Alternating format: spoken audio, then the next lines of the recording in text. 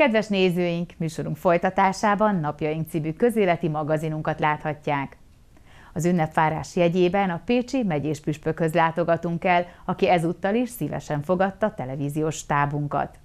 Reményteli várakozást kívánok valamennyi kedves nézőknek. A Pécsi Püspöki Palotából jelentkezünk, vendéglátónk Felföldi László megyés püspök. Nagy tiszteletek köszöntöm püspök atyát, dicsértessék a Jézus Krisztus. Mindörökké, ammen én is nagy tisztelettel, szeretettel köszöntöm most már itt azt gondolom, hogy ismerősként, és természetesen a tévénézőket is örömmel és szeretettel köszöntöm. Ön korábban azt mondta, hogy a találkozásokra vágyik a megyébe, amikor megérkezett egy évvel ezelőtt, és ma már ezek a találkozások javarészt megtörténtek, de persze nem lehet megállni. Erre a találkozásra várunk mi magunk is, hogy Jézus Krisztussal a következő napokban, hetekben lélekben, szellemben találkozhassunk. Erről szól Advent, az eljövetelről, a várakozásról. Jó volt most egy pár percet itt megpihenni az interjú előtt, hiszen nagyon sok mindent hoztunk ide föl, technikába föl, telepöltünk a Püspöki palotába, és hát meg kellett várni, hogy az ember púzus egy kicsit visszábáljon. Kicsit sétáltam itt a falak között a helyiségekben, és valahogy az ember úgy, hogyha visszábál, el tud gondolkodni, el tud mélyedni a gondolataiba. Fontos ez advent idején? Az ember életében ez nagyon fontos, és nagyon köszönöm ezt a nagyon jó kérdést. Az emberi léleknek, a szívnek, a kapcsolatainknak erre van szüksége. Valójában a feszültségünk, a gondunk, a problémánk onnan ered, hogy nem csendesedünk el, nem nyugszunk bele, szó szerint bele a saját létünkbe, a másikkal való létünkbe, erről szólna valójában az ünnep, a találkozás, hogy akkor most mindent kizárok, mindent ott hagyok, és azt mondom, most itt akarok lenni. Most nem akarok semmi más, senki mást, és ez a léleknek, a szívnek a legnagyobb erőforrása.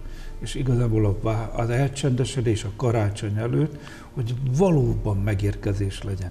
Tudom, hogy a háziasszonyoknak, férjeknek rengeteg munka, fenyőfa, sütemény, ajándék, takarítás, díszítés, de hogy ráhangolódni, mert egyébként csak a, az lesz a végén, hogy kimerülten összezuhanunk, hanem hogy valóban tudjunk ünnepelni és egymásnak ajándékai lenni, és találkozzunk egymással.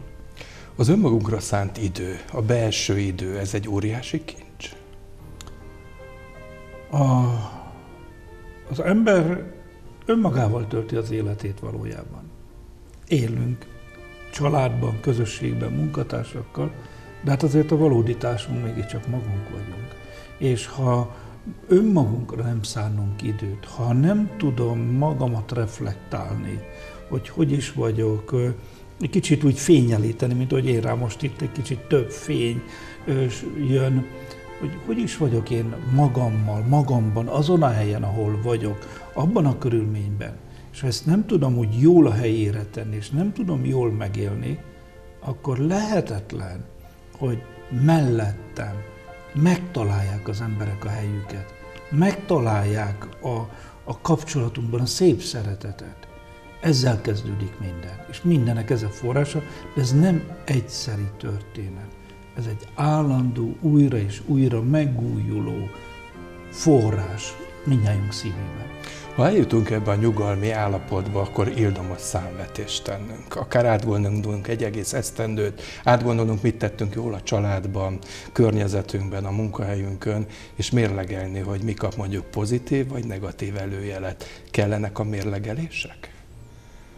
A mérleg az mindig valahol az értékeknek a megtalálása. Van egy félelem a számvetéstől, pedig abban óriási gazdagság van, mert felszínre hozza a, a lényeget. Amikor takarítunk, akkor nem csak azt nézzük, hogy most mi a szemét, vagy őszi-tavaszi ruhásszekrény átforgatás, hogy na ezekre már nincs szükségem, mert tavaly se vettem föl, hanem az értékeknek is a megtalálása, hogy de jó, hogy van, hogy itt vagyunk, hogy rendbe rakhatjuk a dolgainkat. Ugyanígy az érték a fontosabb. A számvetésben fontos, hogy mit rontottam el, mit hibáztam, kérjek érte bocsánatot, ünnep előtt rendkívül fontos, hogy hitves, hitvestől, szülő, gyermektől, gyermek, szülőtől leülni egyest, és azt mondani, hogy takarítsunk. És most az a takarítás, hogy itt ülünk az asztalnál, egy szál gyertyával, vagy az adventi koszorúval, és én szeretnék tőletek mindenért bocsánatot kérni, ami nem úgy sikerült ebben az évben. Tudjátok, hogy szeretlek benneteket, de szeretném jól, jobban, és én megbocsátok mindenkinek, aki engem megbántott. Szavak mögött kell, hogy legyen tartalom is és üzenet. Amikor a négy gyertya lángja meggyullad, a hit, a remény, a szeretet és a béke üzenete, ezek nem csak szavak, hanem nagyon komoly tartalmak is. Az emberi közösségnek a legmélyebb tartalmai. És ha ezeket ö, nem gyújtjuk meg újra és újra, mint az adventi négy gyertyát, vagy ha nincs ott valójában mind a négy, akkor a többi elhalványul, elgyengül. Csak egyetlen egyet szeretnék kiemelni, a, a béke. De ha nincs béke itt a szívben, nincs béke abban, amiben vagyok, akkor a szeretetem a, lehet, hogy már fáj is. Pedig nagyon akarok szeretni, nagyon akarok jó lenni, de már nem működik nem a betlehemi első eljövetelt ünnepeljük, hanem a visszatérést. Jézus Krisztus visszatér hozzánk. Hogy kell fogadnunk őt? Nagyon-nagyon fontos, hogy mi, mi kezdődött, mi indult, hogy kezdődött, miért volt az az első karácsony. Azt mondja Jézus, hogy én vagyok a világ világossága, hogy fényt hozom, hogy az ember lássa magát, lássa Istent, és így lássa a másik embert is. És oda kell visszamenni, mindig újjászületés. Ez a saját életünkben. Nekem most történik. Nekem ez itt az első nagy karácsonyom lesz. Nekem most kell ebben a fényben látni a saját életemet és sorsomat, és hány embertestvérem van, aki most egy egészen más karácsonyt fog ünnepelni, mint ezelőtt évben, vagy évekkel ezelőtt. De ebben a fényben, hogy Isten mellém áll ezzel a szeretettel, ezzel a világossággal, ezzel az örömhírrel. Mosoly van az arcunkon így karácsonyt várva, hiszen a kisdedet látjuk ott a jászolban, azt a gyermekdedet, amely előbb-utóbb felnől és 33 éves koráig a hitet, az Isten szeretetet hirdeti számunkra. A gyermeki mosoly végig megmarad az arcán. Mert örömhír, mert jó hír, mert merte önmagát adni. És amikor egy kapcsolatban, egy találkozásban merem magamat adni, és látom, hogy a, a másik is önmagát adja, akkor egymáson mosolyunk. Ha nem merem magamat adni, akkor feszült vagyok, akkor zavar van a rendszerben, vagy a másikon érzek feszültséget.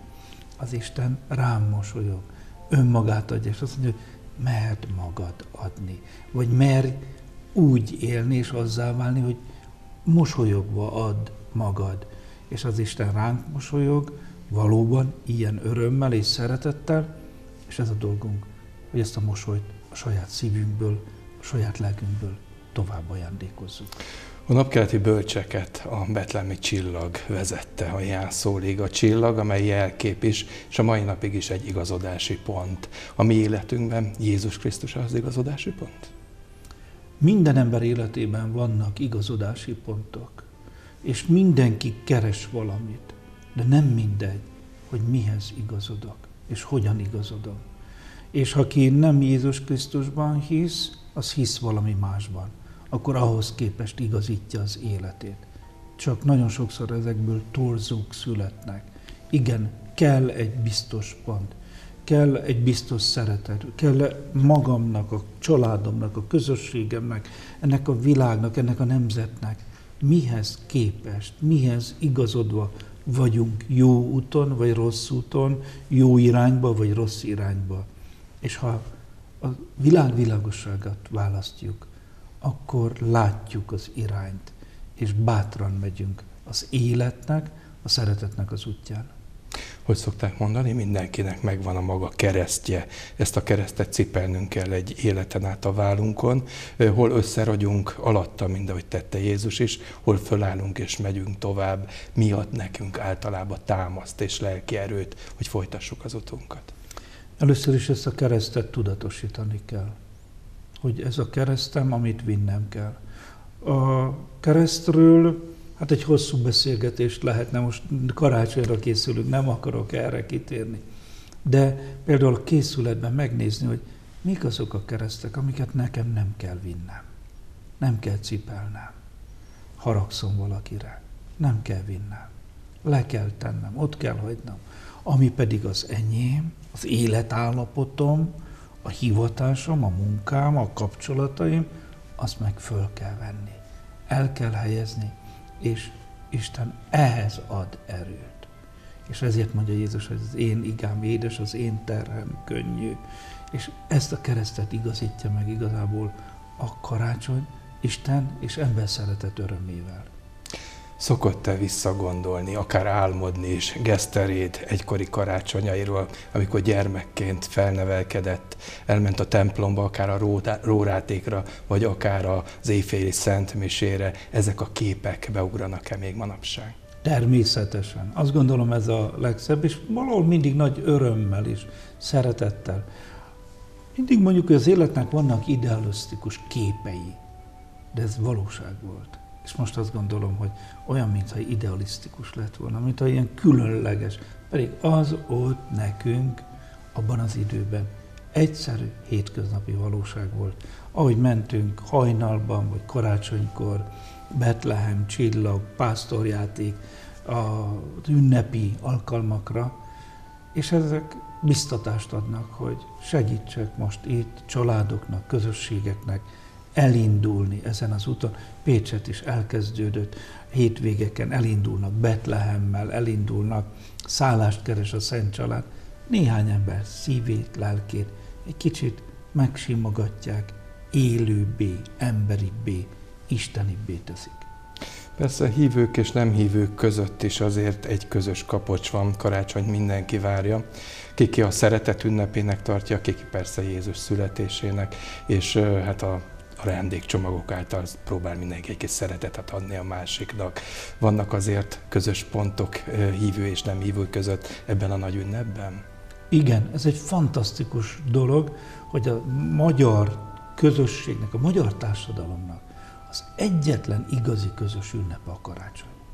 Ezt azért még tartjuk, és nagyon remélem, hogy egyre jobban mindenki megtalálja. Mert akár honnan nézzük, mindegy, hogy milyen oldalról áll valaki, vagy mit gondol Istenről, világról, életről, azért a szeretetről ugyanazt kell gondolni.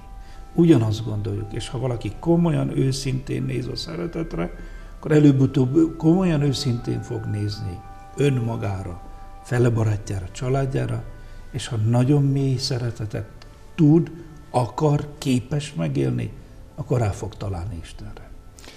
Nem sokára kigyullad a negyedik gyertya, és eljön Jézus Krisztus hozzánk, itt lesz velünk, és elmondhatjuk azt, hogy nem az ajándékcsomagokba kell keresnünk az ajándékot, hanem a szívünkben, hiszen ő maga lesz az. Nagyon fontos, hogy az ajándék mindig arról beszél, aki mögötte van. És az emberi ajándék, amit emberként adok, az rólam beszél. És lehet ez egy, egy pici csoki is, egy csoki Mikulás. Ha azt nézzük, nagyon gyenge, nagyon pici, de nagyon értékes, nagyon fontos. Mert róla szól. Kaptam egy kisgyerektől egy rajzot az édesapa hozta, hogy azt mondta a gyereke, hogy ezt, ezt küldöm a Laci atyának, Püspök atyának. Óriási kincs. Nem egy Rembrandt kép, hanem még annál is drágább, mert az ő szívéből, szeretetből ajándékként készítette. Na de így vagyunk, így kell, hogy legyünk egymásnak ajándékai, hisz Isten önmagát ajándékozta nekünk, és erre tanít, ebben vezet, erre biztat, hogy váljunk szép, mosolyt, derűt, életet teremtő ajándékká. Áldott békés karácsonyt kívánok valamennyiünknek. Nagyon köszönöm, viszont kívánom önöknek is, és természetesen a tévénézőknek, minden családnak. Jóisten örömével, szeretetével áldott karácsonyt kívánok. Dicsértessék a Jézus Krisztust. Mindörökké, amen.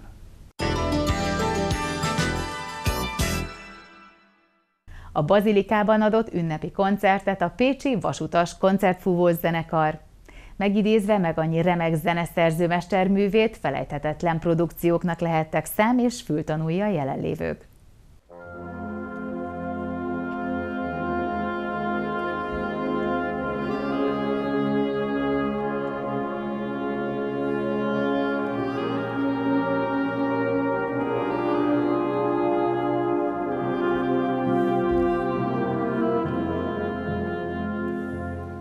Pécsi Vasutas koncertfúvós zenekar Magyarország ismert amatőr fúvós együttese, egyike az ország és Európa neves fúvós zenekarainak.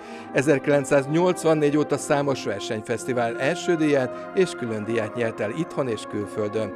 Pécs kulturális életének egyik meghatározó szereplőjeként az Európa kulturális fővárosa hivatalos nagykövete címet is viselte. A zenekar 1945-ben alakult Bali János karmester irányításával.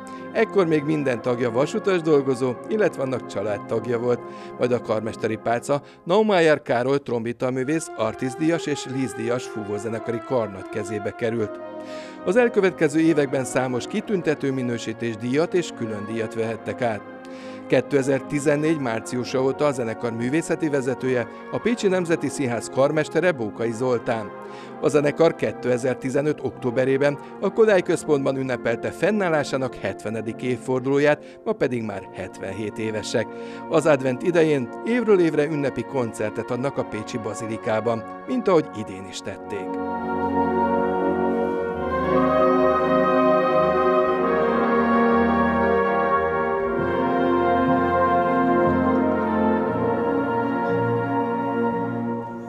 Naime Ferenc 1968 óta tagja a zenekarnak. Hogy emlékszel vissza a kezdetekre? Édesapám szólt, hogy jöjjek a zenekarba. Abban az időben még hát dobhúzónak kellett kezdeni, aztán a kotta állványokat összerakni, fölrakni, hogy az ember tudja, hogy működik ez az egész dolog, és klarnéton kezdtem. Egy pár évet azon fújtunk, és ahogy fejlődött, nőtt a zenekar, a, az öcsém lett a karmester, Neimeyer Károly, és ott a repertoárunk nagyon kiszélesedett, és szükség volt szakszafon sorra, és én nekem világéletben bariton szakszafon volt a kedvencem. Erről álmodtál, ugye? Szó szerint, szó szerint. És apukám abban az időben mondta, hogy az én hát nálunk kommunizmusban ilyen nem lesz, nincsen. Aztán úgy alakult a dolog, hogy bariton szakszafont fújok azóta is, az életem kedvence.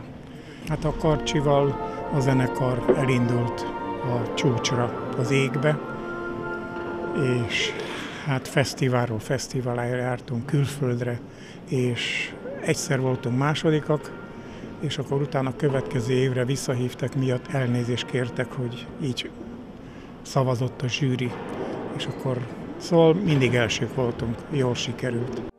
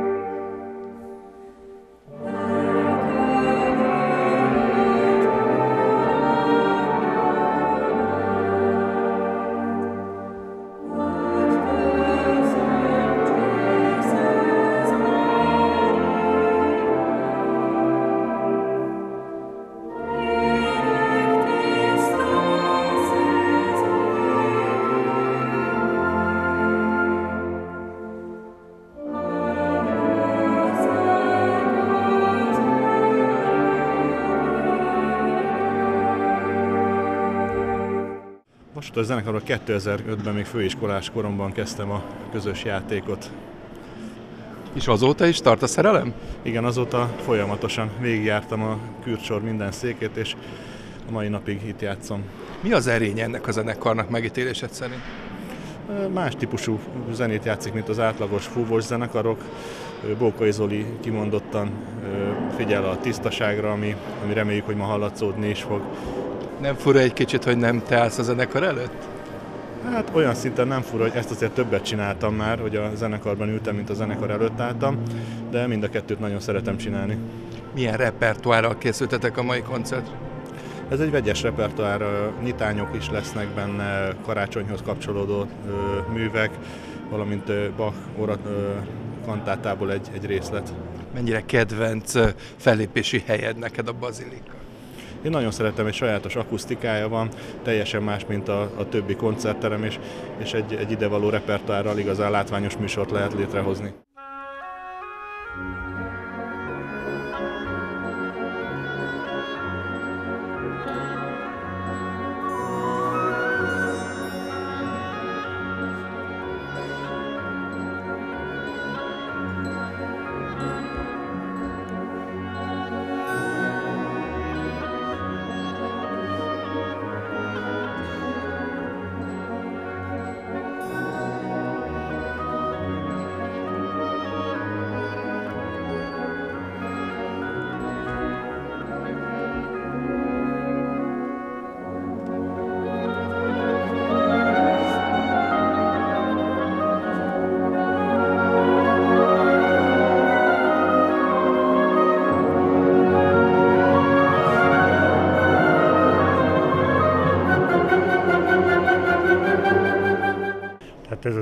Az előmunka, amire eljutunk odáig, hogy na kezdjük el, az egy nagy ideg munka, belülről pedig az, hogy na jól csináljuk meg. Tehát mindenki az egyéni teljesítményét akarja hozni, azért, hogy az egész az jó legyen. Hogyha azt mondom neked, hogy vasutas koncertzenekar, akkor egy történelem fut le benned, egy film gyakorlatilag?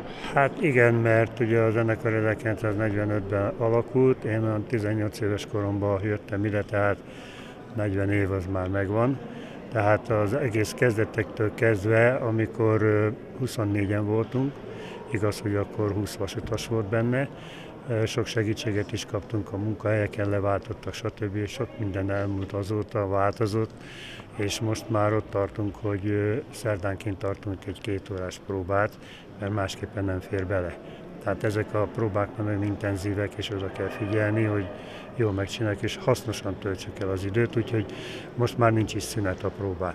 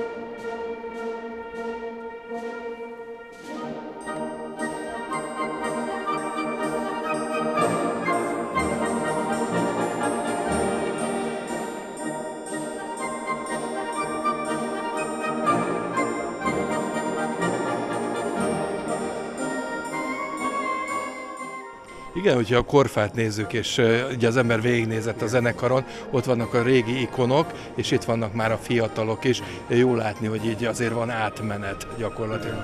Van átmenet, és a zene összeköti őket. A zene miatt jönnek ide, azt utána kialakulnak barátságok, egymás segítése. Az, azt, azt tetszik nekem, mikor egymást keresik. Tehát ugye nem tud mindenki minden próbára eljönni, mert munkahely elfoglaltsága van, meg egyedek, de már keresik, és amikor a járvány miatt meg kellett állnunk két-három hónapra, akkor tele volt az oldal olyan feliratokkal, hogy jaj, de nagyon hiányoztak, mikor tudjuk már folytatni. És nem csak a zenéről volt szó. Milyen érzés a tapsot hallgatni egy egymű után? Hát az nagyon jó. Ugye az embernek, hogy lemegy a feszültség. Tehát az, az, az, a, az a feloldás, a taps. mert addig teljesen odafigyel, figyeli a karmestert, figyeli a szólamtársait, koncentrál arra, hogy nehogy ő miatt roncsuk el, és amikor megjön a taps, akkor kicsit kienged. Bazilikában mindig különleges eh, dolog vezényelni és, és koncertet adni. Koncertet hallgatni is olyan akusztika van, és ez a szakrális tér, ez, a, ez, ez, ez Pécs templomainak ne továbbja. Eh, az, hogy itt játszhat ez a zenekar, ez pedig egy különleges dolog, hiszen mégis csak egy fúvós zenekarról van szó. És fúvós zenekarról legkevésbé sem jut be a, a, a, a templomi millió. Eh, mi évről évről, évről évre gyakorlatilag egy adventi koncertet adnak valahol. Volt, hogy nem a Székesegyházban volt, hogy a Pius templomban volt, hogy a Kertvárosi templomban, de mindig tehet házfogadott bennünket, és ez most sem volt másképp, ez azért mindenképpen segít, ugyanúgy, mint amikor a foci csapatnak drukkolnak, jobban teljesítenek. Hát most a, zene, a zenészek is nagyon-nagyon szépen játszottak valóban. Persze tökéletesre kell törekedni, és hát ahhoz kell egy ilyen zenekar is, aki tökéletesen tud játszani. No, és egy olyan repertoár, ami már össze lett állítva. Hát a repertoár folyamatosan bővül, és ugye a, a repertoárt, hogy mondjam, a, a művek nem feltétlen fúvós zenekari művek. Ezek valóban átiratok, ezek szimfonikus zenekari művek, azonban olyan kvalitású klarinét soron van, akik gyakorlatilag bármit rájuk lehet bízni, és Rossini hegedűre írt dolgait ő klarinéton pörkölik, és, és, és hihetetlen millió tud lenni. Ugyanakkor a zenekar meg tud aláadni egy olyan hangszint, amit nagyon ritkán szólal meg fúvós zenekartól. Szinte egy tenor is érkezett ma, Bognár Szabó személyébe, aki egy olyan csodálatos hangot ütött meg a mai nap folyamán, ami még tökéletesebbé tette a koncert. Igen, ez volt a legnagyobb dicséret, hogy, hogy tenort mondtál, ugyanis ő bariton, és hát nyilván az ő hangfajához igazítottuk ezt a Nessun Dormát, és azért volt a felkomponálás is, hogy, hogy Ered a Franklin sem tenor, és ő is énekelhette ezt, nyilván más lágéban, nyilván más módon, és ezerféleképpen megszólalhat ez a, ez a dal, ez mindenképp gyönyörű.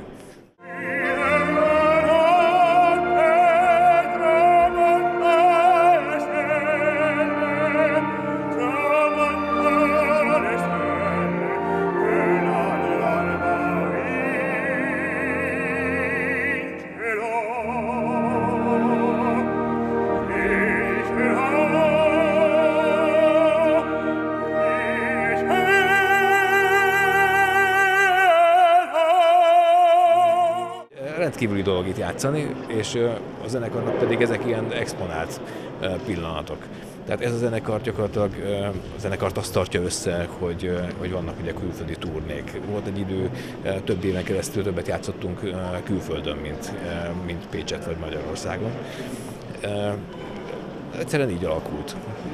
És többször voltunk Törökországban, és, és tudom, milyen Szerbiában, Horvátországban, és mentünk mindenfele, Lengyelországban ezek nagyszerű turnék voltak, és nyilván ilyenkor az amúgy dolgozó ember szabadságot vesz ki, ez idejét áldozza rá, és tulajdonképpen a napi gondjait itt hagyva, úgy szoktam mondani, hogy nyom egy reszetet. Feltöltődve aztán hazaérkezik, és, és még muzsikálnak is. Úgyhogy gyakorlatilag ez az egyik motivum, a másik pedig ezek a, ezek a, ezek a nagy koncertek itt a város közönsége előtt. Székesegyházban az adventi koncert, és a, a Kodály Központban várjuk ezt a, ezt a jubileumi koncertet. Boldog születésnapot nektek! Hát köszönjük szépen!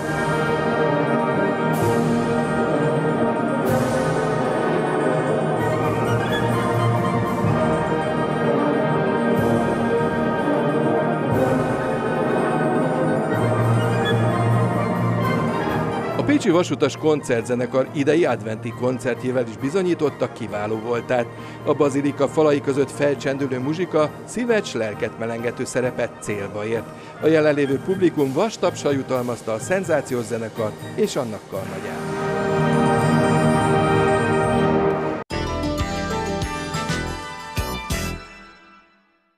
Az őszi szemeszter zárására került sor a Bói Nyugdíjas Szabad Egyetemen.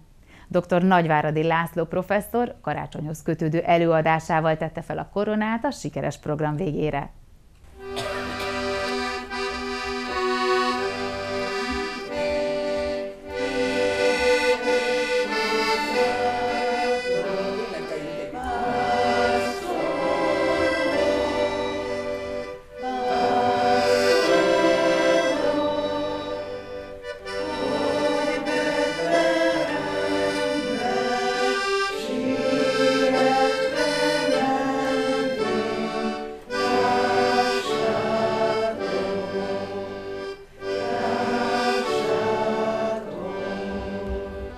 Finiséhez ért a hetedik terminusát megélő Boi Nyugdíjas Szabad Egyetem idei félkurzusa. Az évzáró alkalomra dr. Nagyváradi László professzor a Betlemi Csillag nyomába című előadással készült. Elmondása szerint nagyon szívesen ad elő a nyugdíjas hallgatóság előtt, mert hálás közönség, s fenyelmezetten figyelnek mindvégig.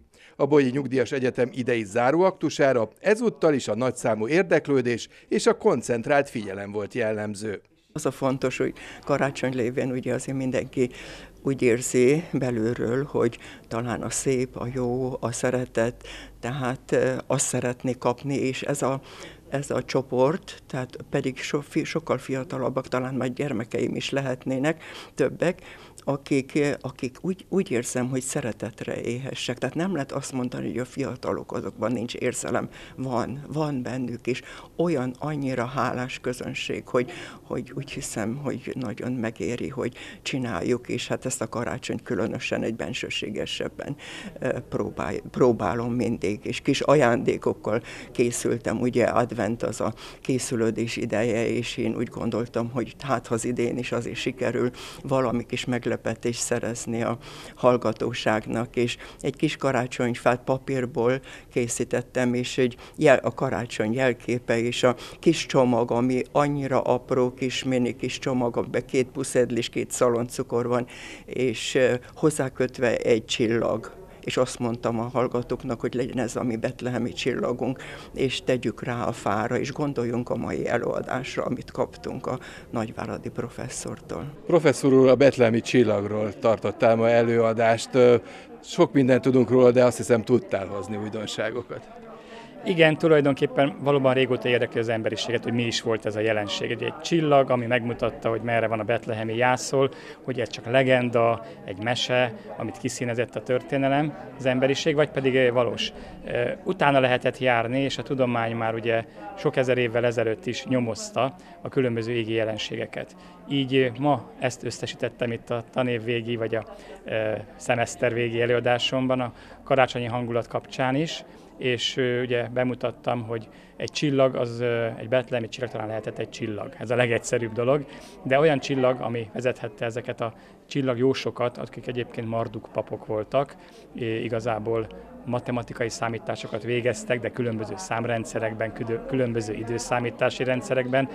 Végül is ők nem ismerték egymást, babilóniai vagy éppenséggel Hettita vagy akár akkád népek küldöttei lehettek, vagy képviselői, és ők találkoztak Jeruzsálemben. Tehát a legenda úgy szól, vagy a történet, hogy Jeruzsálemben tudják meg, hogy ők egy irányba tartanak, és akkor figyelik már ezt az égitestet, ami, ami a betlehemi csillag, ami déli irányba van, ugye Jeruzsálemtől földrajzilag Betlehem délre van, és ezeket gyűjtöttem össze, hogy milyen égitest lehet az, ami különleges, csak akkor látszott, nem minden évben látszott, vazóban vezethette őket, tehát hosszabb ideig látszott az égbolton, hogy itt a felvillanó meteoroktól, az üstökösökön át a valódi csillagokig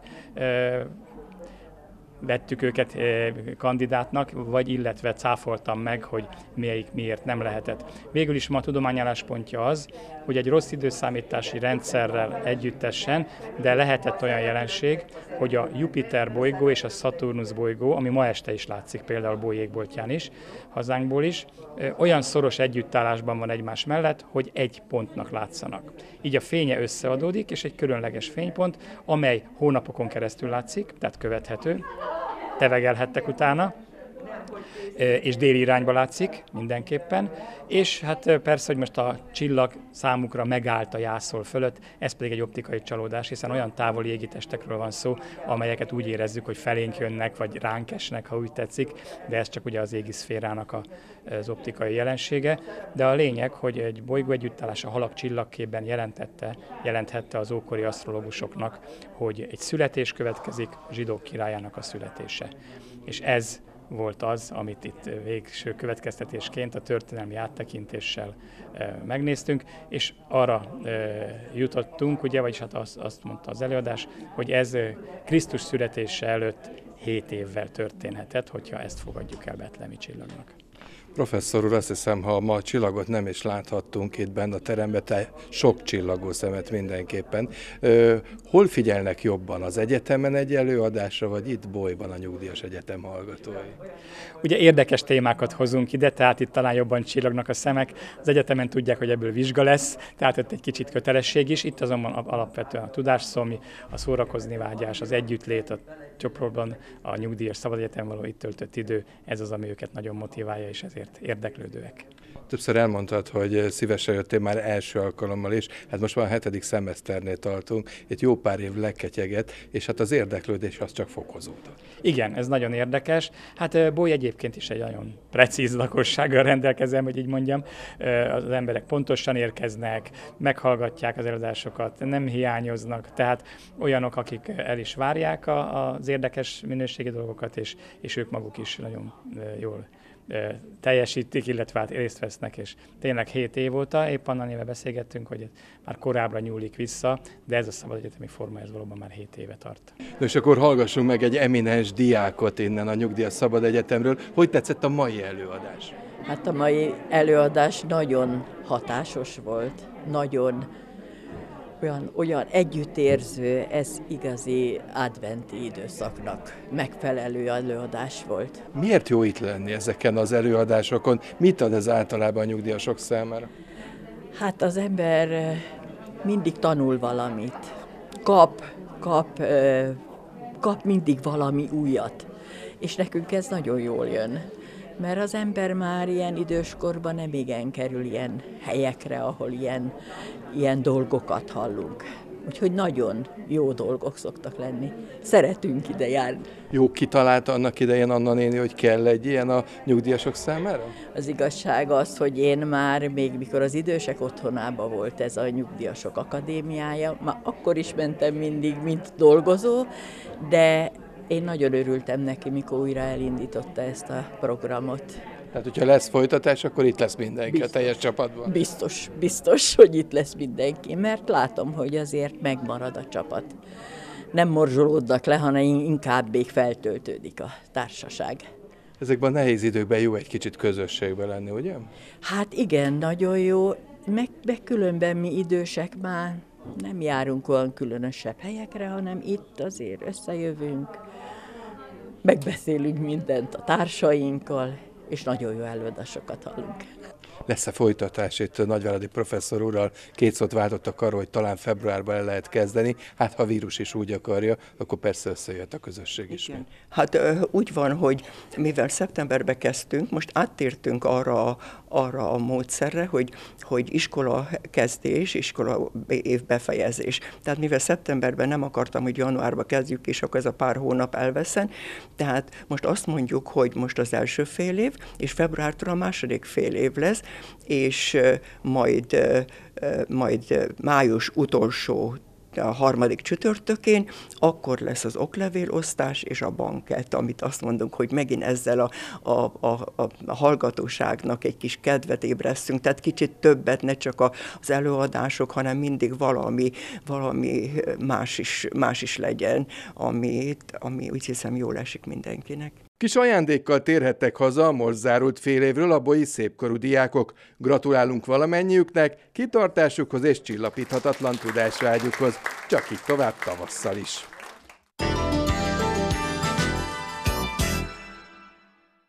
Mohácson is nagy sikert hozott az adventi vásár és a Kossuth Filmszínház által összeállított programsorozat. Na még egyszer. Mohácson is nagy sikert hozott az adventi vásár és a Kossuth Filmszínház által összeállított programsorozat. Ebben nyújt betekintést, itt készült összeállításunk.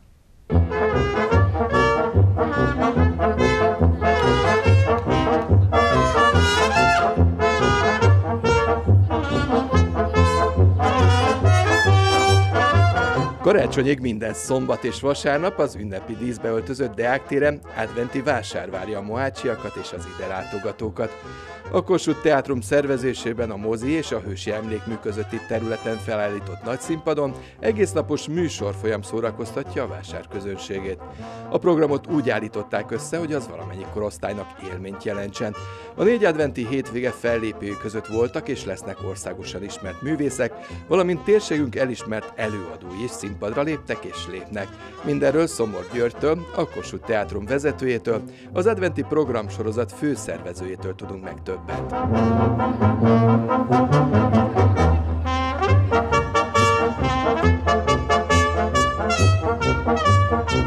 Mit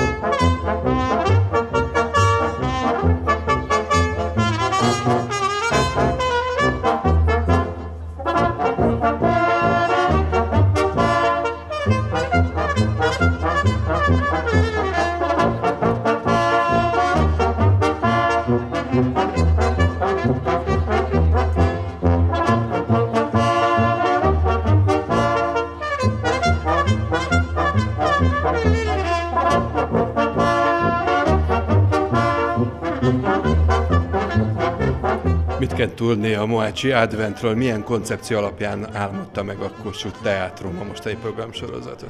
Alapvetően itt a színház előtti téren mi szeretünk volna egy olyan közösségi teret kialakítani, amit itt a, a színházban és a moziban már megteremtettünk, és ehhez próbáltunk olyan programokat társítani, ami ide vonza a közönséget, és nyilván olyan ö, árusokat és olyan kézműveseket ide csalogatni, ide hívogatni, akik akik szintén ezt a közönséget ki tudják szolgálni a portékájukkal ilyenkor ebben az adventi időszakban. És azt gondolom, hogy a, a múlt, múlt héten bár vasárnap esett az eső, de szombaton nagyon szép számban látogattak ki hozzánk, és eddig elégedett véleményeket hallottunk. Mutatni a kultúra kis szigetét szeretnétek kialakítani itt Mohács centrumában, és gyakorlatilag ez az adventi csomag is ezt szolgálja?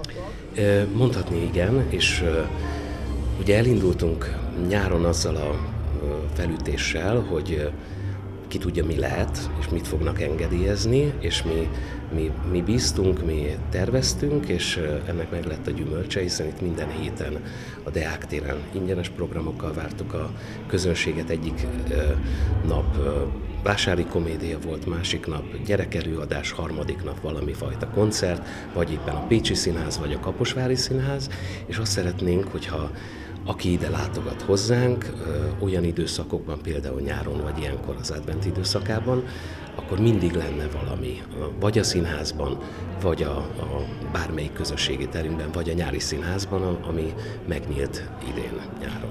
Igényes a Mohácsi és a térségbéli közönség? Lehet érezni, hogy elkapták a fonalat? Azt gondolom, hogy igen, nekünk az a feladatunk, hogy minél több emberrel megismertessük, és hogy minél többen tudják, hogy létezünk.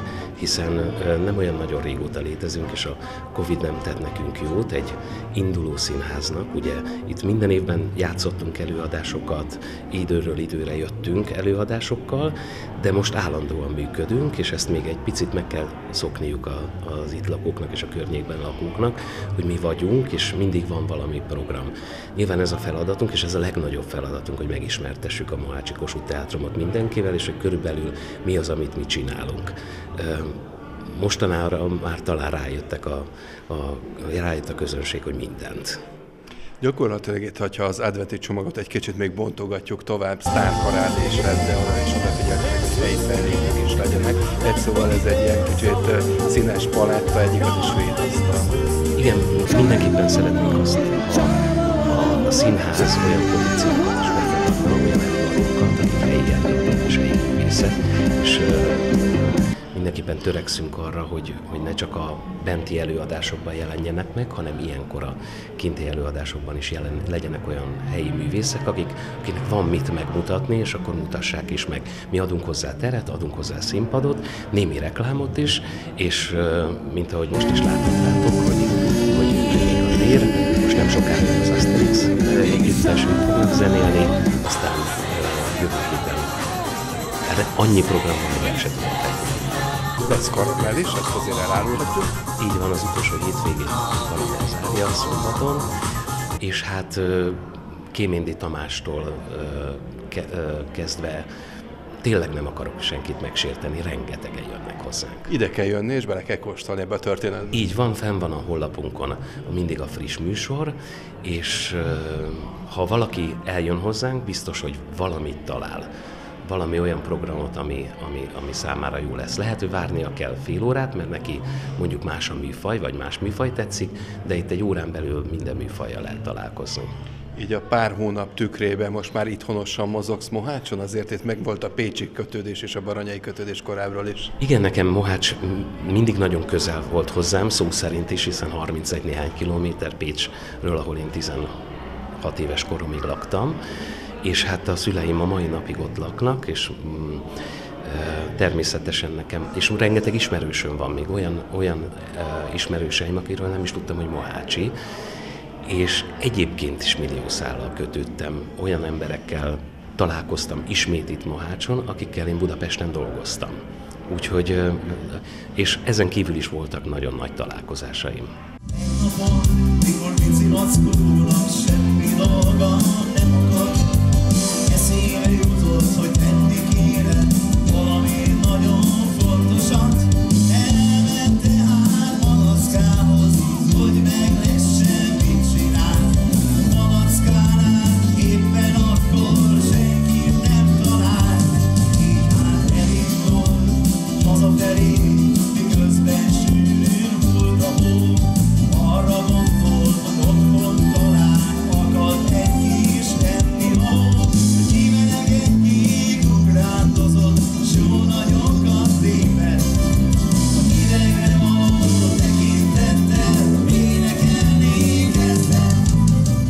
akkor eljött a várva várt Asterix Mikulás váró koncert, amely az Imankó ellenére sok száz egykori rajongót hozott el a térre.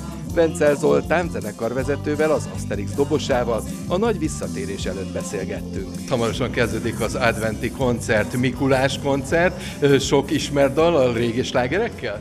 Hát, ha hazai pályára jövünk, akkor nem lehet más, csak a régi nagyslágerek, azt gondolom. Néhány Mici Mackóval, néhány karácsonyi dal, de szerintem a tőlünk megszokott minőségben és a tőlünk megszokott dalokat fogják, fogják, hallani.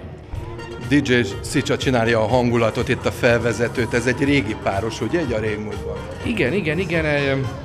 Mindig voltak a, az élőzene és a diszkónak mindig voltak ilyen hullámzásai, és a, amikor, amikor nagyobb teret kapott a diszkó muzsika, akkor kitaláltuk, hogy hogy talán színesebb a, úgy a műsor, hogyha, hogyha egy, egy, egy estét váltakozva játszunk, hol mi játszunk, hol pedig a DJ tolja a bakelit lemezeket, annak idején még bakelit lemezek voltak, és ez nagyon-nagyon sok helyen bejött, és nagyon sok embernek tetszett. Milyen múltja van így az adventi koncerteknek, hogyha visszapörgetjük az időt, hanyas évekig kell visszamenni? Hát az Asterix történetében Mohácson adventi koncert nem volt. Tehát eh, ez, hogy az, hogy, a, hogy a Kossuth... Inkább karácsonyi? A karácsonyi, a karácsonyi bál, ugye az már ki sem merem mondani, hogy hány éve játszottuk a karácsonyi bált. Sőt, abban az időben még, a, a, amikor még a Dolina is működött, akkor ugye karácsony első napján voltunk Mohácson, aztán másnapján Bolyban is, és a Dolina meg egy helycserés támadás volt a Dolinával. Adventi bulit, adventi vásáron itt Mohácson nem játszottunk, ez a Kossuth Teátrumnak a, a, az ötlete volt, hogy legyen egy, a négy adventi hétvégén legyen egy ilyen műsor, és felkértek bennünket erre a megtisztelő feladatra, mi pedig elvállaltuk. Úgyhogy az Asterix debütál a Mohácsi adventi vásáron. Kiváltképp azért is, mert ez egy sztárparádé, ez az adventi időszak, rengeteg sztár érkezik ide, az Asterix sem lóg ki a sorból, hál' Istennek. Hát kezeljük szerényen a dolgokat, egy nagyon-nagyon régi csapat vagyunk, csupa szívvel és, és zenei szeretettel. Azt kétségtelen, hogy innen indultunk, tehát itt ismernek a legtöbben. Ez büszkeséggel töltett, de tulajdonképpen nincs ennek jelentősége. Az a lényeg, hogy még vagyunk, egészségesek vagyunk, és még, még tudunk egy kicsit zenélni. Így a Facebook világában, amikor megtudta a nagy közönségét Mohácsba és a térsége, hogy jöttök, elindult egy hatalmas nagy dömping, felkerestek, rád hogy jövünk, mi is ott leszünk? Igen, igen. Hát tulajdonképpen most, hogy egy darabig ugye úgy volt, hogy lesz karácsonyi bálunk ebben az évben újra Mohácson, de sajnos a pandémia miatt a főszervezők ezt lefújták, és így tulajdonképpen ez az adventi koncert, vagy ez az adventi buli lépett elő. Azt kell mondjam sajnos, hogy, hogy hát ez az utolsó, ebben az évben ez az utolsó bulink, és ki tudja, hogy mikor, talán három-négy hónap múlva újra csaphatunk a húrok közé. Kicsit meséljetek magatokról, mi van veletek, gyakorlatilag ez az egyesztendő, ez hogy telt számotokra, amikor feloldódott a karantén, akkor visszajött az élet a zenei vonalon is. Abszolút.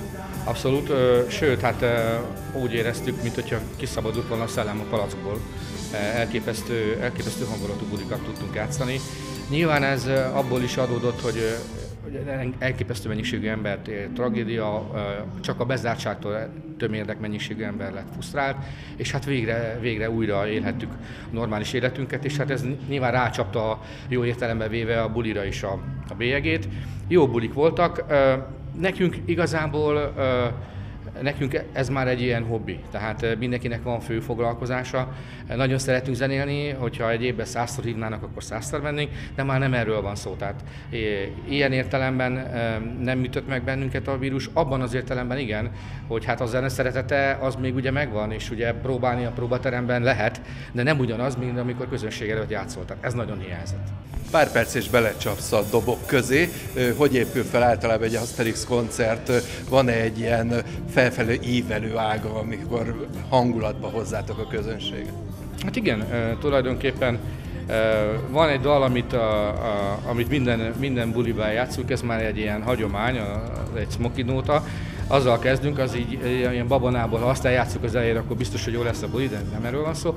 És hát nyilván szépen, szépen lassan építjük fel a bulit, a, látjuk a közönséget, hogy most ebben a hidegben van-e kedve mozogni, van-e kedve táncolni, ha van kedve táncolni, akkor nyilván e, afelé vesszük az irányt, hogyha úgy látjuk, hogy inkább forralt bor mellett hallgatnak bennünket, akkor nyilván e, egy kicsit koncertesebbre vesszük a, a, a, a, a műsort.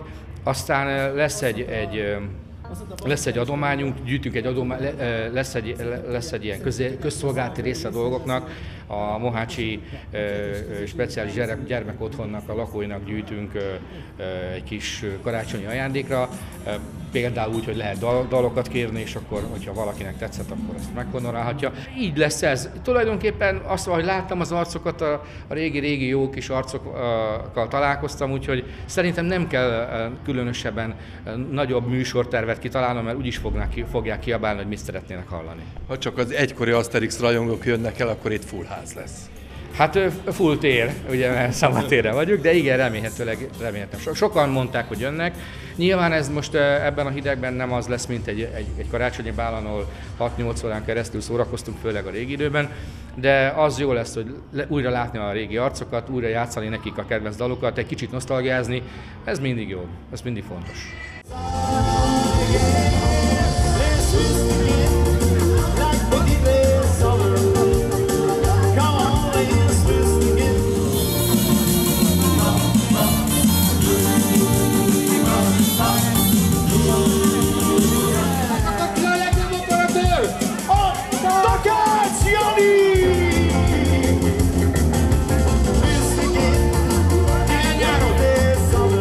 tehetik, önök is vegyenek részt a Majcsi Advent hétvégi programjaim. Mindenhez vásárfiát is vásárolhatnak a kitelepült kézművesektől.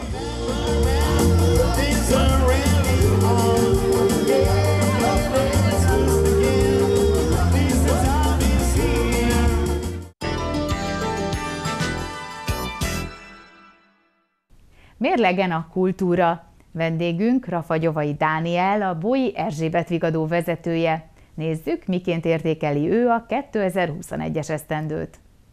Kedves nézők, a következő percekben folytatjuk évértékelőnket. A Városi Könyvtár, az Erzsébet Vigadó és a Közértkeztetési Intézmény vezetője lesz a vendégem bolyból, Rafagyovai Dániel, akit köszöntök, szervusz. Jó estét kívánok! Persze a sorrend nem ugyanez, de ez a három terület tartozik te hozzád, ez, ez egy komoly falat, akárhogy is nézzük. Hát, ha már a közétkeztetésnél tartunk, akkor komoly falat. A sorrend az, az szerintem másodlagos dolog. Ez mind a három intézményegység szerintem a maga területén egy igen fontos feladatot ellátó egység, és hát nyilván ez inkább a jogi szabályozások és a különböző rendeletek és egyéb dolgok miatt lett ez a három intézmény összevonva, és mondjuk úgy, hogy ennek a három intézménynek vagyok én a vezetője. Nem egy sajátos ötlet ez így bolyból, én már több településen igen, tapasztaltam, igen. hogy hasonló összevonást tettek. Működik a rendszer? Tehát teljesen más területek egy jó vezetővel, aki összefogja, lehet működtetni? Én inkább úgy mondanám, hogy egy jó egységvezetőkkel lehet ezt működtetni, szerény véleményem szerint, és nyilván ezt a külsősök másként látják, én úgy gondolom, hogy azért nem működik rosszul ez a történet. Na nézzük végig a három területet. A konyhánál óriási átalakítások mentek az elmúlt időszakban, költözések is voltak annak függvényében, ahol éppen hol folytak a munkálatok. Mi lett a végeredmény? Hát ugye régen két konyhánk volt, ugye volt a kollégiumban egy konyha, illetve a régi óvoda mm, épületében volt egy konyha. Aztán ugye ez az egész folyamat úgy indult, hogy lett egy új óvodája a településnek, illetve lett egy új étkezője az általános iskolának, és így megszűnt az a dolog, hogy gyakorlatilag a két intézményhez tartozott egy-egy konyha, hiszen most már mindenképpen szállítani kell a, az ebédet, mert sem a régi óvoda épületében, sem pedig a régi kollégium épületében nem étkeznek már a gyerekek. Ezért kézenfekvő volt az az ötlet, hogy a két főzőkonyhából összevonjunk és legyen egy főzőkonyha, illetve nyilván az új óvoda étkezőjében, illetve az, az általános iskola új étkezőjében pedig kézenfekvő volt, hogy egy-egy melegítő konyhával bővüljön az intézmény, illetve új telephelyekkel, és most már szeptember óta, miután minden átalakítást, felújítást, festést, mázolást túléltünk, úgy működik a történet, hogy a kollégiumban, a Hunyadi utcában fül, fül meg az ebéd, oda mehetnek azok, akik egyébként éthordósok, vagy ott szeretnének étkezni, és nem tanul, tanulói az iskolának, és a konyha dolgozói pedig gépjárművekkel viszik el a két melegítő konyhára, illetve a két táló konyhára a megfelelő mennyiségű adagot az óvisoknak, illetve az iskolásoknak. Hány fő részére történik a főzés, és mindezt hány szakemberrel sikerül megoldani? Hát gyakorlatilag a teljes óvodai és iskolai létszám szinte mondhatom azt mindenki fogyaszt ebédet, és hát tíz fővel történik most a főzés. Ugye az összevonások következtében a határozott idejű szerződésre rendelkező kollégáktól sajnos meg kellett várnunk, és várható az, hogy tovább fog csökkenni ez a létszám, mert jövőre is az ott következő években is lesz nyugdíjazás, és most folyik éppen annak a felmérése, hogy az összevonás után mennyi munkáról van szükség, de valószínű, hogy a nyugdíjas kollégákat sem fogjuk már pótolni. Elégedettek-e a fogyasztók az étellel? Milyen a visszacsatolás? Hát ez változó, ugye egyrészt a költözés miatt az elején voltak panaszok, ezt kár lenne tagadni. Nyilván itt nagyban befolyásolta azt, hogy itt két működő csapat lett összevonva, nyilván a feladatok is átcsoportosításra kerültek, és hát meg kellett szokniuk egymást azoknak, akik amúgy bár egy intézményben dolgoztak, mégis két külön telephelyen, illetve hát a szeptemberi újraindulásnak azért az is volt egy nehézsége, hogy azért egy új konyhába költözött mindenki. Az is, aki a kollégium konyhában dolgozott előtte, a fölújítás után nyilván teljesen új konyhát kapott, és ami még később bezavart az az, hogy sajnos a koronavírus az intézményünket sem került el, és bizony voltak olyan napok, amikor mind a, de hát a konyhafőnök és a konyhafőnök helyettes is karanténban volt, tehát mondhatjuk úgy, hogy hivatalos vezető nélkül zajlott a munka. Természetesen nyilván itt megvan a rangsor, de hát mindig megvan a mindenkinek a helyettese, de mégsem az a stabil és fix vezetői gárda volt ott, aki irányította a folyamatokat. Én ennek is betudhatom azt, hogy voltak apróbb problémák most is arra biztatok mindenkit, akár szülőt, akár pedig felnőtt fogyasztót, hogy jelezze a konyha felé, mert a hibákból tudunk tanulni, és akkor tudunk javítani az ételek minőségén, hogyha tudjuk azt, hogy miben hibáztunk. Egy másik területre rukkolunk át, ez pedig a könyvtár. Két fővel üzemel ez az egység. Mennyire vagy megelégedve az itt folyó szakmai munkával? Én nagyon hálás vagyok a könyvtárosoknak, mert ö, ugye ez az, az év értékelésnek az egyik ö, legfontosabb ö, mondani valója talán az, hogy azért mi fél évig, illetve öt hónapig hát zárt ajtók mögött működtünk, és az Anették ö, tényleg mindent kitaláltak a házhoz szállítástól kezdve a könyvtárkapunk keresztül, hogy gyakorlatilag úgy folyt a kölcsönzés, és úgy zajlott a könyvtári élet, hogy az olvasók a könyvtárban nem léphettek be, ugye június 1-ig. Mint az ügyeletes patikánál, ugye? Hát körülbelül igen, és amennyire én tudom a számokat, a, nyilván a helyben olvasás, illetve a helyben használt irodalom és könyv az, az nyilván lecsökkent az előző évhez képest, viszont a kölcsönzött példánynak a száma az árvatartás ellenére minimálisan csökkent, hiszen aki szerette volna, az hozzájutott a könyvhöz, és még egyszer mondom, ez mindenképpen az Anett és az Erika érdeme. Milyen állománya van ennek a könyvtárnak, mennyire frissül folyamatosan? Hál' Istennek az önkormányzat, én úgy gondolom, hogy az ország, illetve nem gondolom ezt a szakmai visszajelzésekből, tudom, hogy az országos átlaghoz képest több pénzt tudunk fordítani a könyvtár gyarapítására. Ezt azért tudom, mivel ugye az állami támogatás és a helyi pénzek függvényében zajlik, a az érdekeltségnövelő támogatás, ennek az a hivatalos elnevezése, és hát az ottani visszajelzésekből tudjuk, hogy hát ide, csúnya szóval mondva nekik többet kell adni, mint egy hasonló méretű településnek, hiszen az önkormányzat is több pénzt fordít az állomány gyarapítására.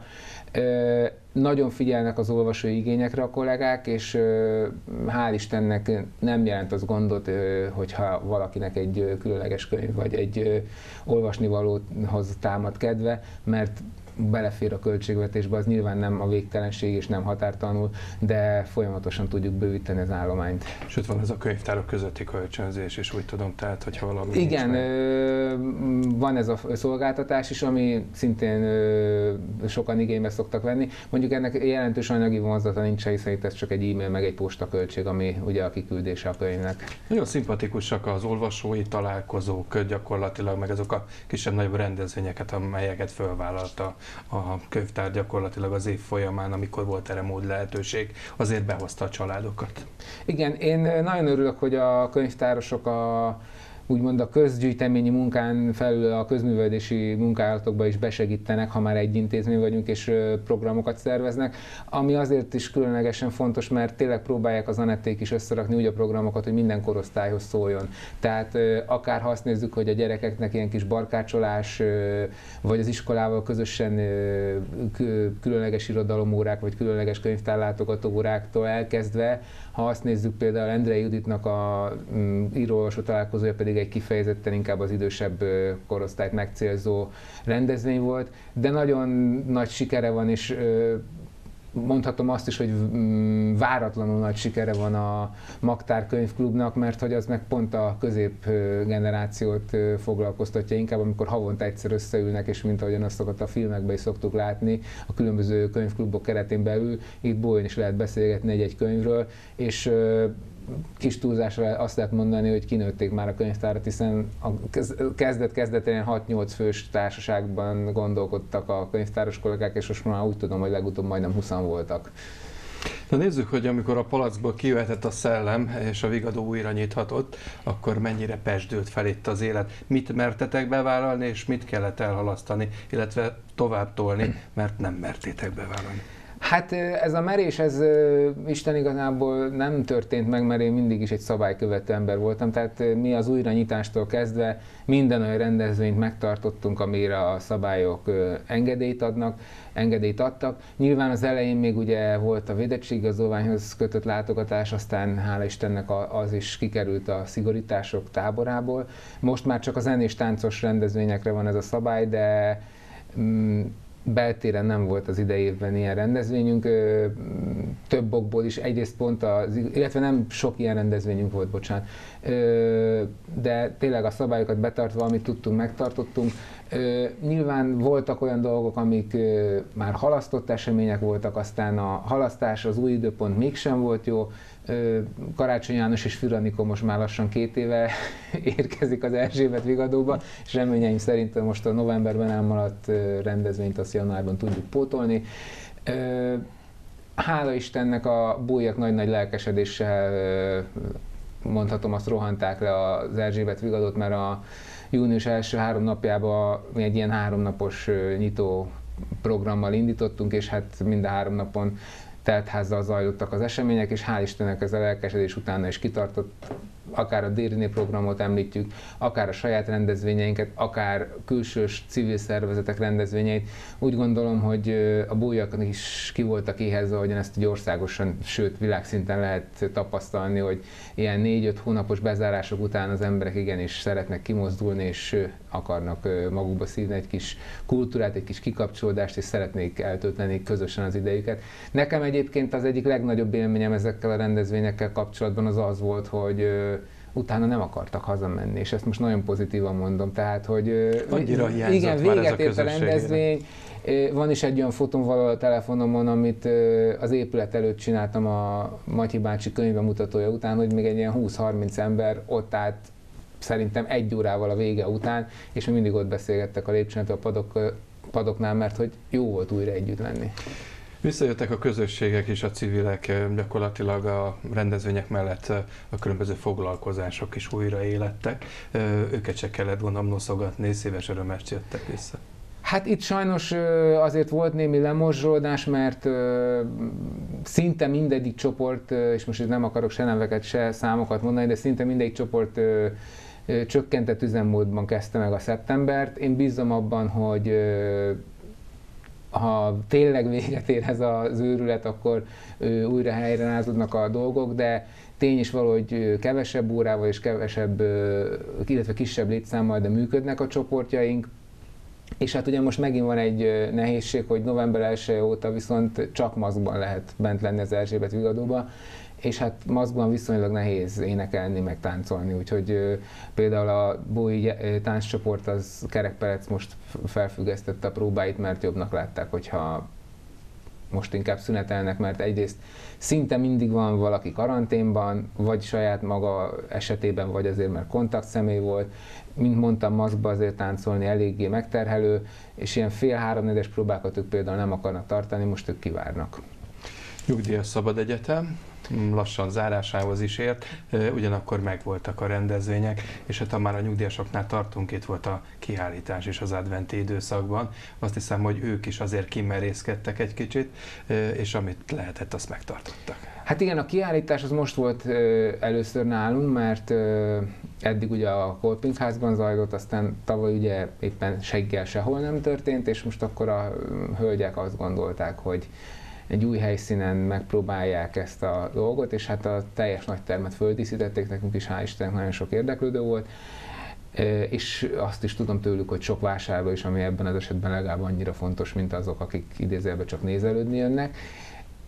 A nyugdíjas egyetem az, ha jól számolom, az másfél év után indult újra, mert a tavalyi őszi szemeszternek nem álltunk neki, Tavaly, tavaly, egész pontosan tavaly februárban volt az egyetlen egy óra, és akkor utána pedig idén szeptemberben, de hát Anna néni a korát meghazudtoló lendülettel és agritással veszi kéz, vette kézbe újra az irányítást, és hál' Istennek ez a eddigi három óra, és hát remélem, hogy most néhány napon belül a negyedik óra is lezajlik, és az egyetemisták, ha szabad így mondanom, megkapják a diplomájukat, megkapják a diplomájukat és, hát, is.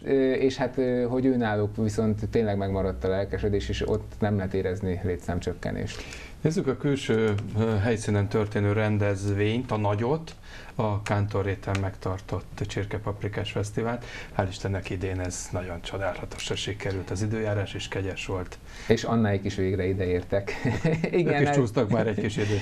Igen, hát megmondom őszintén, hogy nagyon-nagyon izgultam, mert nem lehetett tudni, hogy mikor lesz az, hogy akkor most megint záróra, meg hogy ennyi fő, meg annyi fő, meg amannyi fő meg így kártya vagy nem kártya, de hál' Istennek akkor éppen úgy álltak a csillagok, hogy az 5000 fő alatti települések éppen tarthattak így is rendezvényeket, és nem tudom hány év után, mert most már én is keverem az éveket, de ugye volt két-három esős évünk, most végre szárazon, és nagyon jó időben meg zajlott a rendezvény, és én azt mondom, hogy a legjobbak között van ez az idei csirkepaprikás, mondjuk három elázott után nem nehéz jót csinálni, azt is hozzá lehet tenni. Ki van ez is pipálva. Na nézzük az évvégi hajrát, hát itt a korlátozások és illetve a pandémiának az újabb hulláma azért eh, eléggé meghatározta, hogy mit lehetett és mit nem lehet megtartani. Ami nagyon pozitív és nagyon látványos dolog, ez az adventi ablakok program, amit minden évben szerettek meghirdetni, mert hogy nem nagyon sokan jelentkeznek, és szebbé teszik a várost a hangulatát. Hát igen, ennek ugye tavaly volt igazából nagy jelentősége, ugye, mert akkor mi zárva voltunk, meg hát nem csak mi, ugye, ha visszaemlékszünk a tavalyi ilyen időtájban történt eseményekre, ugye decemberben volt konkrétan az, hogy 8 óra után már az utcán nem lehetett kint lenni, nem hogy rendezvényeket tartani, és akkor nagyon fölértékelődött ezeknek az ablakoknak a jelentősége, hogy tényleg legyen valami, igen, ami egy kicsit az ünnepi hangulatot hozza, és úgy gondoltuk, hogy attól függetlenül, hogy hál' Istennek a programok újraindultak, ezt idén is megszervezzük, illetve felkérjük a bólyakat, és hát nagyon-nagyon jó esően tapasztaltuk azt, hogy kis túlzásra percek alatt, de most ha komolyan kell mondani, akkor úgy, úgy emlékszem, hogy két nap alatt minden ablak elkelt, és a visszajelzések pedig azt tükrözik, hogy a bója körülnek ezeknek az ablakoknak megjelenik kommentekbe ott ugye a lefotózott ablak, vagy akár minket is megállítanak az utcán, és az ablakdíszítők pedig maguk mondták nekem egy páran, hogy, hogy őnekik is mondják a lakosok, hogy hát milyen szép, meg milyen jó sikerült, meg milyen ötletes egy-egy ablak. Lesz díjazás?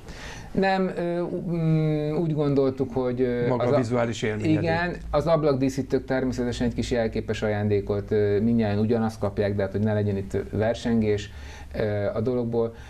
Akik pedig rácsodálkoznak az ablakokra, én úgy gondolom, hogy egy ilyen év után szépet látni az legalább akkor ajándék, mint egy kis tárgynyereményt is kapna az ember, és tényleg azt gondolom, hogy ennek ez a varázsa. Nem az, hogy ki látja meg először, ki fényképezte le először, hanem az, hogy mindenki a képen arra jár, akár szándékosan, akár véletlenül egy örö- kis örömforráshoz jusson. Ha mindent csummázunk, és megpróbálod objektíven értékelni ezt az évet, mennyire volt ez szép év a magad olvasatában? Én azt gondolom, hogy ez egy nagyon nehéz év volt, de rögtön hozzáteszem azt is, hogy nyilván nem csak nekünk volt nehéz év, hanem én úgy gondolom, hogy mindenkinek. Azt is el szeretném mondani, hogy nagyon-nagyon hálásak vagyunk, és bátran mondhatom, hogy az intézmény valamennyi dolgozó nevében mondom azt, hogy amikor zárva voltunk, vagy csökkentett nyitvatartással voltunk, amikor nem tudtunk rendezvényeket szervezni, hanem csak mindenféle online dolgokat, vagy kiállításokat szabadtéren, tehát, hogy eleje és vége legyen a mondatomnak, de hát nagyon köszönjük szépen a bújjaknak azt a rengeteg bátorító szót és támogatást, amit az év első felében, javarészt az év első felében kaptunk, mert tényleg ez valahol nagyon fontos, hogy egy olyan intézmény, ami azért működik, hogy a közösséget szolgálja, a közösség részéről kap pozitív visszajelzés és bátorítást, ennél szebb dolgtán nem is kell, és én nagyon bízom benne, hogy a jövő év még talán az év elején így fogunk lenni, ahogyan most vagyunk, de bízom benne, hogy az év második felében tényleg most már helyreáll a rend, a béke, és a régi idők szerint tudunk már működni. És elfelejthetjük a vírust és a maszkokat. Köszönjük szépen, hogy itt voltál, valamennyi munkatársadnak nagyon szép évvégét kívánunk, adventre való tekintettel és az ünnepekre való tekintettel pedig töltsék együtt a családokkal az ünnepet. Köszönöm szépen. Köszönöm szépen, mindenkinek békés ünnepeket kívánok.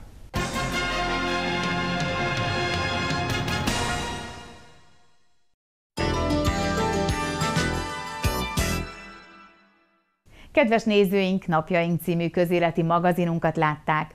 Ha vissza szeretnék nézni műsorunkat, weboldalunkon és YouTube csatornánkon megtehetik.